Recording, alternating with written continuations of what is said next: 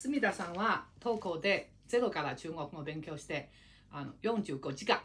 45時間の勉強を終えてから、えっと中堅4級200点満点の198点が取れました。何よりいいのは発音がとても綺麗にできるようになりました。はいどうぞ。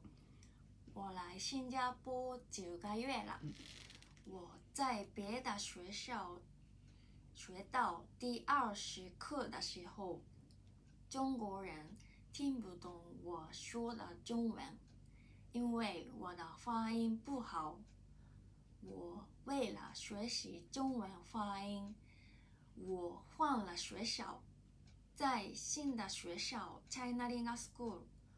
我从头开始学习发音，现在我的发音越来越好了。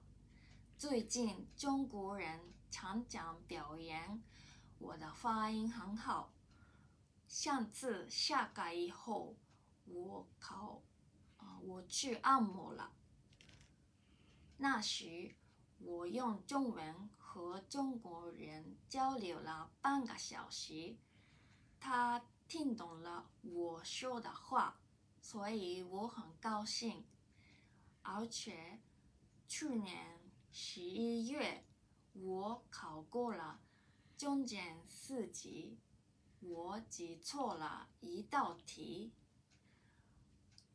二百分满分，我考考了一百九十八分。